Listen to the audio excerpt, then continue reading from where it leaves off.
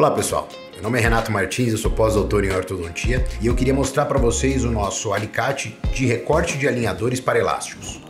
Esse alicate ele serve para a gente poder encaixar algum elástico no alinhador. Então ele tem um formato como se fosse uma vírgula e a gente pode utilizá-lo na região uh, anterior para encaixar o elástico de maneira angulada, aqui na região do canino ou do premolar, onde você quiser.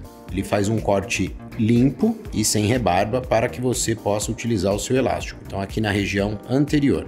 Ele também pode ser utilizado na região posterior e inferior.